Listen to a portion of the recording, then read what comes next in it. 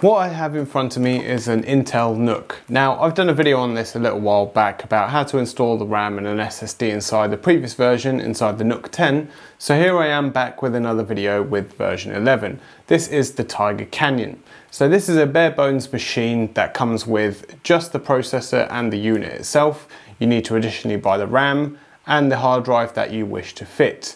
Now this inside has an i7 processor, so I'm kitting it out with a one terabyte NVMe drive and 64 gig of RAM. Now the aim of this machine is to run virtual machines on it, and that's the idea about the high amount of RAM.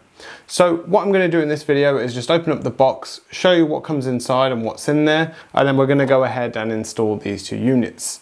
I have another video coming a little bit later about how to install a virtual hypervisor on this machine. So if you wanna see that, hit the subscribe button, comment down below and I'll let you know when that video is coming out. So let's go ahead and have a look at what comes inside the box. So this is the power adapter for it. Uh, that's the 120 watt power supply. It comes with a European adapter, but we don't want that one. So I've been sent out a UK plug, which is useful.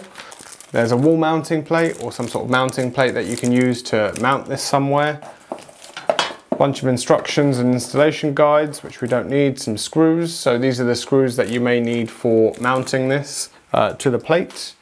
And right at the bottom, we have the NUC itself. So I think I might have actually opened this box the upside down, but hey, no, nonetheless, this is the NUC itself. So if I quickly go ahead and open this up, so just to show you the unit itself, it comes with two USBs on the front, the power, it has a lockable unit on the side with some vents. And on the back, we have power, USB-C, HDMI. The 2.5 gigabyte network connectivity is a good thing, um, as we're seeing gigabit slowly being increased to 2.5 gig now, so that's good to have. A couple more USB ports, another USB uh, Type-C port, and another HDMI port. So we have two outputs on here as well. I'm not actually quite sure what this part is for, but hey, uh, if anybody does know, yeah, let me know down in the comments below. Uh, so let's go ahead now and install the RAM and SSD. So we just need to remove uh, these two screws.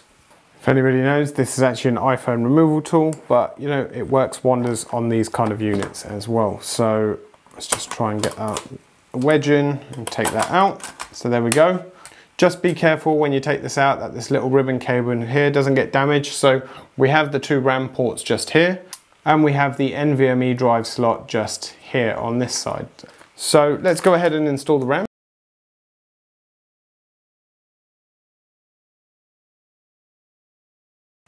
Links to all these items are down in the description below and they are linked to my Amazon affiliate. So it doesn't cost you a penny more to buy, so do feel free to use them and it helps out the channel as well. Okay, now the uh, drive. So we have the NVMe drive, so we take that out. And as you can see, that is really thin um, and that is one terabyte in size. Um, memory has come a long way. So what we need to do is just undo this screw at the top here, take that to one side, put it there, and then the NVMe just goes in just like so. So I'm just gonna pop that up. There we go, and just make sure it goes round the ribbon cable, and then we can go ahead and pop this screw back in. There we go, that is just there, RAM and SSD fully installed. And then you just pop the lid back on like I just did, and then we go ahead and close the screws up. And there we go, it's that easy and simple to install the RAM and SSD inside of an Intel NUC. Remember, the links are down in the description below. They are linked to my Amazon affiliate. And if you do use them to buy whatever you want, every little bit does help the channel. I hope you found this video useful. It was a quick tutorial on how to do this. As I mentioned, I am going to be installing a virtual hypervisor on here. So hit the subscribe button if that's something you want to see. Let me know down in the comments below. This is Inside Wire, and I'll see you in the next one.